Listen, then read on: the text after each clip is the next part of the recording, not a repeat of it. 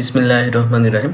Dear viewers, now I'll show how to create columns columns on grids in Dlubal RFEM software. So let's start. I'll check the grid if it is okay or not. Okay.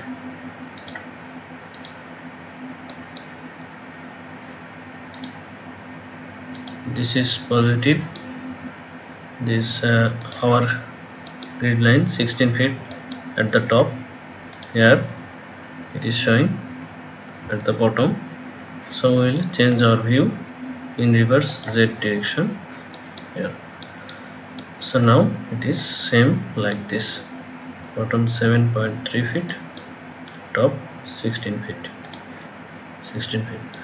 Now we will first create new node number one is here. Then number two one grid. The third grid. This. As we are it is very small the node. We can change the node font. Here it is. Coming on. I will go to option configuration manager display properties. This node size we will create bigger 6 okay close. Now we can see the nodes clearly. Now insert node again. Here one grid missing another grid E. Then same G. This Z and last one in this way. This this then this one this one this one this one last one this one this this and this two here and here. So this is our column location. According to the location we have created our nodes on grid. Now we will create column line. Select the nodes here move and or copy. Here also same move or copy. Click on this. Number of copy 1 we will go global z direction 6 feet to get the plane beam or grade beam. And we will create line and section. Create line between node create new member. Go here new cross section. Click on this. Parametric massive here.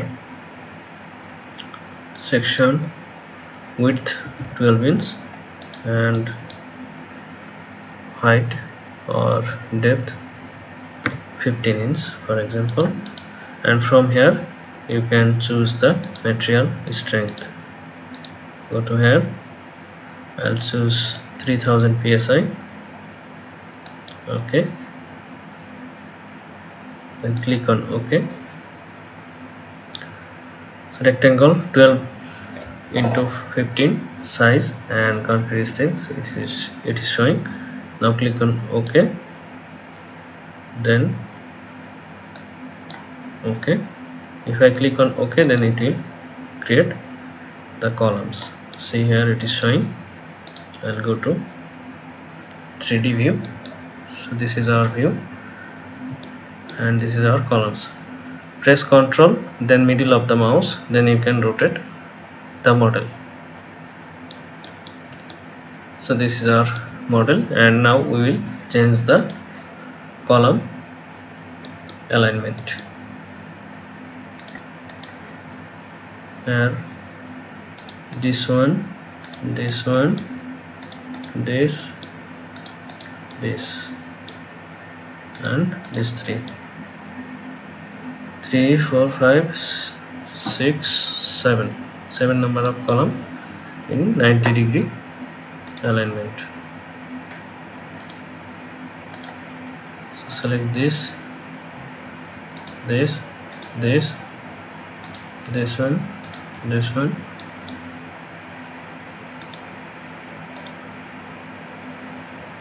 this one. And this one. After selecting these columns go to edit edit selection angle 90 okay. So now we can see the columns rotated in our according to our plan.